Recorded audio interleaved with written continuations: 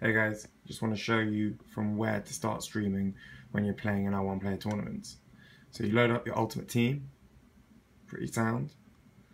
You wait for that to load. Uh, and then once you get here, you go down your seasons play. And you can essentially start streaming from any point, but you have to stream at the latest from here. So press your, on the PlayStation, it's quite easy. You press the share then you go to broadcast gameplay, go to Twitch.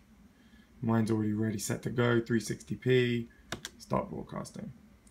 And now you can see top right, I'm on air. Now you're good to go. You can press play match. And as you see here, we can capture your rating, your chemistry. Then you start a game, searching for an opponent.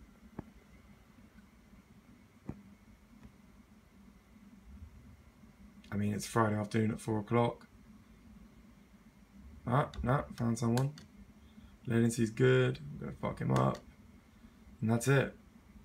Now we're ready to go for making changes.